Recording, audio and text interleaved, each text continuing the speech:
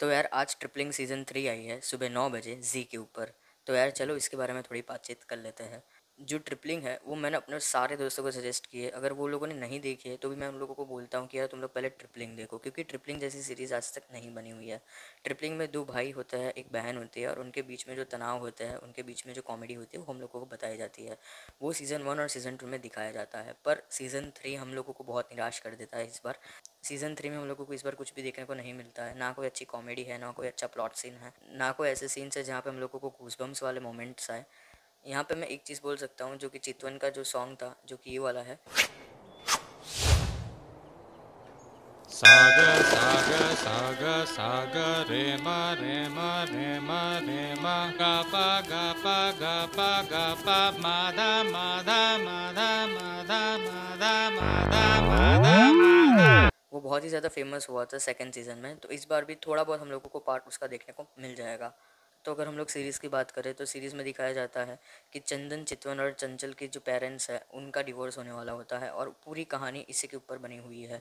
हम लोगों को फ़र्स्ट और सेकंड सीज़न में जो चंदन की वाइफ थी पौला, उसका भी हम लोगों को थोड़ा बहुत पार्ट देखने को मिल जाता है। यार, मैं अपनी बात करूँ तो मैं ट्रिपलिंग सिर्फ़ और सिर्फ़ चितवन की वजह से मैं देखता था। चितवन की जो कॉमेडी होती है, वो अलग लेवल की थी।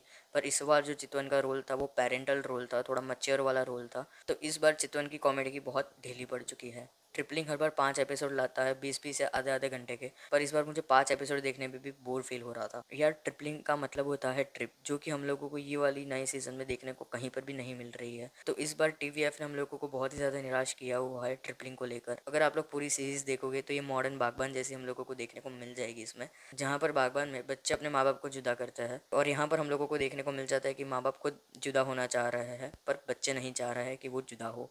यार, इसमें जो प्रणव है, जो कि चंचल का हस्बैंड है, उसके अननेसेसरी सीन्स भी बहुत सारे दिखाए गए हैं तो इसकी वजह से भी आप लोगों को बहुत बोर फील होगा।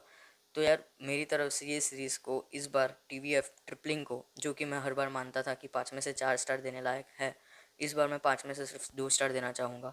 यार, एक स्टार तो मैं हर बार सुमित व्यास के लिए रखता ही हूँ, क्योंकि मुझे उनकी एक्टिंग बहुत ज़्यादा अच्छी लगती है तो एक स्टार उनके लिए तो बनता है। दूसरा स्टार इसलिए कि हम लोगों को ये सीरीज़ में बीच बीच में थोड़े थोड़े सॉन्ग्स हम लोगों को देखने को मिल जाते हैं, जो कि बहुत ही अच्छे हैं। तो यार सॉन्ग्स की वजह से मैं इसको दूसरा स्टार देना चाहूँगा। अगर नेगेटिव्स की बात करें तो जो डायलॉग्स है, वो बहुत ही घटिया है। जो चितवन का रोल था, वो बहुत ज़्यादा कॉमेडी था, उसको पूरा मैच्योर और एडल्ट टाइप बना दिया है, ताकि वो थोड़ा बोर फील होता है।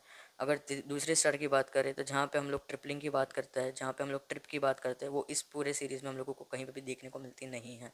पूरा सीन जो है, वो डाइवर्स के ऊपर घुमा रहता है। अगर तीसरे स्टार की बात करें तो यार यही चीज़ है कि पूरी एक स्टोरी एक डाइवर्स के ऊपर घूमती रहती है। ना कोई और बातचीत होती है, ना कोई और चीज़ की बात होती है। इतनी बोर वाली मुझे इस बार ये सीरीज़ लगी हुई है। तो यार जी पर तो ये सीरीज़ आ गई है इस बार, पर मुझे इतनी कुछ खास लगी नहीं। अगर आप लोगों को देखनी है, अगर आप लोगों को सुमित व्यास की वजह से देखनी है तो यार जाके देख के आओ। ट्रिपलिंग का नाम बहुत अच्छा है। उसके फ़र्स्ट और सेकंड सीज़न से कंपेयर करोगे तो तीसरा सीज़न इतना अच्छा नहीं है। पर ठीक है यार, अगर आप लोगों को टाइम पास के लिए देखनी हो तो आप देख सकते हैं। तो मुझे कमेंट बॉक्स में ज़रूर बताइए कि अगर आपने देख लिया तो आपका रिव्यू कैसा है। अगर नहीं देखी है तो क्या आप देखना चाहोगे जी पर या नहीं? मुझे कमेंट बॉक्स में ज़रूर बताइए। तो बस यार, यहीं तक था आज का रिव्यू ट्रिपलिंग के ऊपर। मिलते हैं अगले वीडियो में। तब तक के लिए बाय